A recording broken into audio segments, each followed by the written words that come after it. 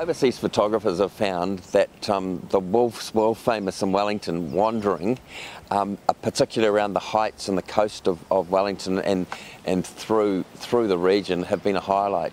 Uh, we've expanded on that, so it's not just our photographic colleagues that are able to take advantage of our expertise and our knowledge of the region.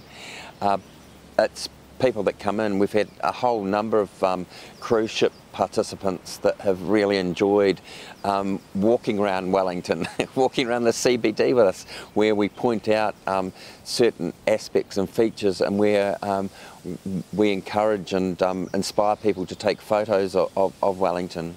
Um, we have had the situation where our clients, you know, our, our, our wanderings have involved our clients um, popping us into their car, their hire car, and we, we I, I direct them through um, places like um, the windmill or Te Ahumairangi Hill or even Mount Victoria, but particularly the, the south coast.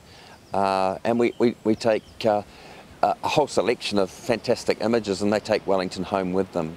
And so those wanderings are never the same either, always different, always purpose built to the, to the people that uh, are coming out with us.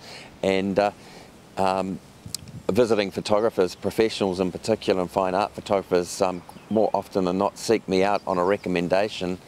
And uh, we, we head out and we have a lot of, lot of fun.